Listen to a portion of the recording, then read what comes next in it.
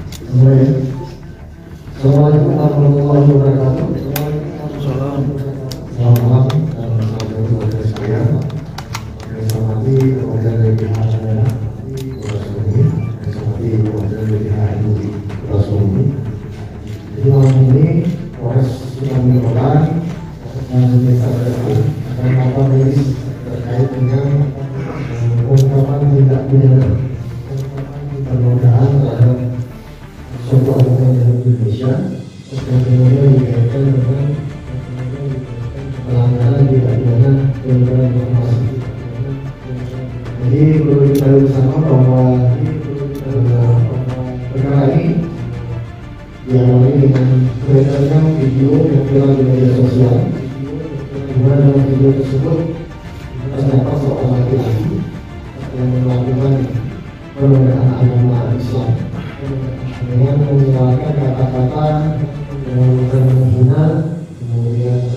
menantang seluruh tersebut dan juga meminta juga terlibat suci tersangka dan mengamankan berinisial yang pertama CR umur 25 tahun.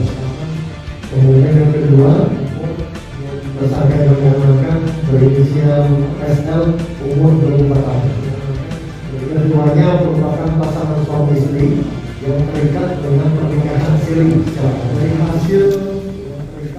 penyidikan yang kemudian kami lakukan maka kemudian didapatlah modus operandi dari yang kemudian eh, dilakukan para pelaku ini di mana dasar dari pembuatan video ini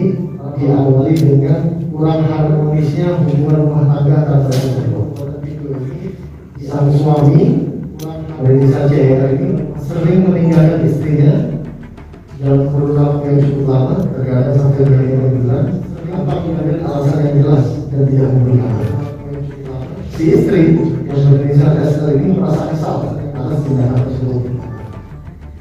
si istri awalnya mereka kemudian menyelesaikan permasalahan tersebut dengan mengambil sumpah di bawah Al-Quran terhadap suaminya. Namun demikian perilaku suaminya selalu berulang. Demikian perilaku suaminya selalu. Namun demikian perlu saya sampaikan pada kesempatan rilis malam hari ini bahwa kedua tersangka baik suami maupun istri beragama Islam. Kedua tersangka baik suami maupun istri beragama kemudian dilakukan penyelesaian dalam rumah tangga mereka melalui cara yang Islam termasuk organisasi doa karena perilaku suami selalu berulang maka kemudian atas keinginan istri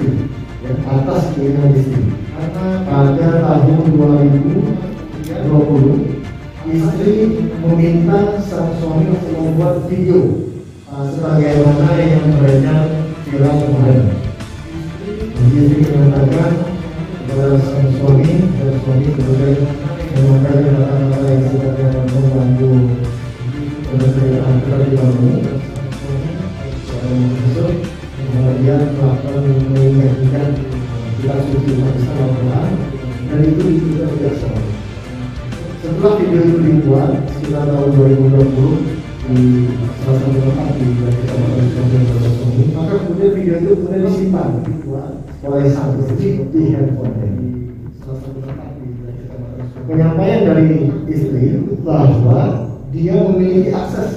media sosial yang akunnya pernah suaminya